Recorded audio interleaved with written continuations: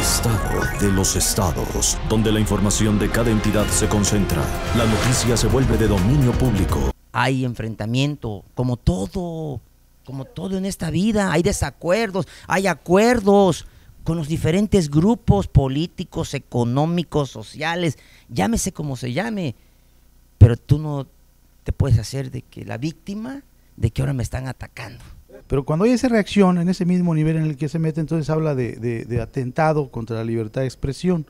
Cuando te metes a una lucha política, porque es una lucha política la que se está dando a veces, pues obviamente va a haber reacciones. No esperes, si tiras piedra, no esperes flores. Y el debate se concentra en buscar la verdad. Que saliéramos los periodistas a decir, espérenme tantito, ¿eh?